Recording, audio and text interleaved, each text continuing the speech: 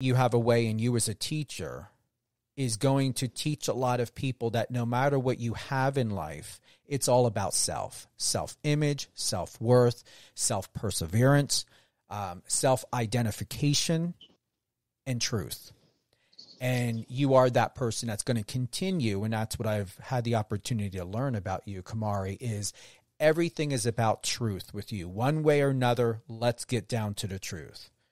What is going through your mind? How do you feel about me saying that to you? Uh, that like that aligns with everything that I believe in. Um, one of my one of my main things you touched on it, the the difference between like arrogance and confidence, and I I hate it because I see it so many times. Like I notice that not a lot of people are confident, and I get it because there's there's phases of everybody's life that we go through where you know, you may be dealing with something or you may just not be having the best day. So, you know, naturally you don't feel as confident. Um, but like when it when it really comes down to it, I hate to see so many people that aren't confident in themselves and what they have. And they look at people who are confident, confident in themselves and you know what they have in their life. And it's it's kind of like they're looked they're looked down upon them. Like they tell them to to be humble. Um and it's like everybody is great in their in their own way.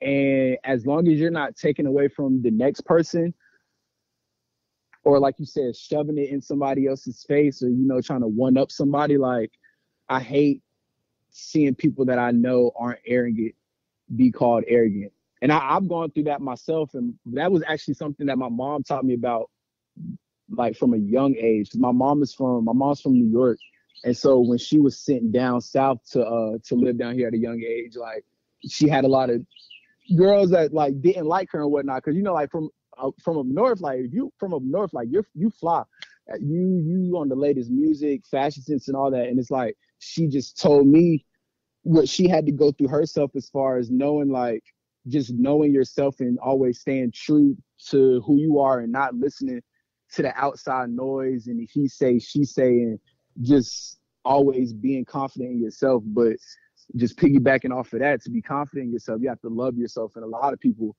they don't love themselves. And you do have to learn how to love yourself um unconditionally and it's a same way it's a choice to love somebody else it's a choice to wake up and love yourself every day so I, I hope to see that grow, that theme grow um, amongst the the masses. But I just hate seeing people who never reach their full potential because they're not they're not confident in themselves.